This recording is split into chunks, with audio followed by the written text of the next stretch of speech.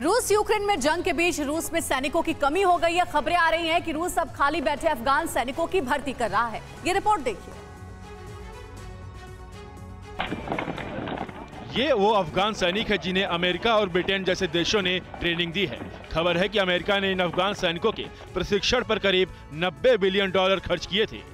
पिछले साल अफ़गानिस्तान पर तालिबान के कब्जे के बाद इन अफगान सैनिकों ने या तो देश छोड़कर दूसरे देशों में पनाह ले ली, या फिर तालिबान के डर से गुमनाम हो गए। पिछले साल अगस्त में अमेरिका ने जब अफ़गानिस्तान छोड़ा था, उस दौरान ऐसे अफगान सैनिकों की संख्या 20 से तीस हज़ार थी।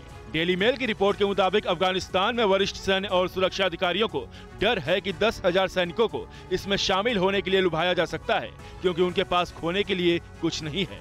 कहा तो ये भी जा रहा है कि रूसी सेना में अफ़गानिस्तान के भूतपूर्व कमांडरों की भी भर्ती की जा रही है। साथ ही अफ़गानिस्तान के वॉर वेटरन्स को भी जंग के लिए जॉब पर रखा जा रहा है। दरअसल, जंग के बीच यूक्रेन ने रूस को भी काफ़ी नुकसान पहुँचाया है।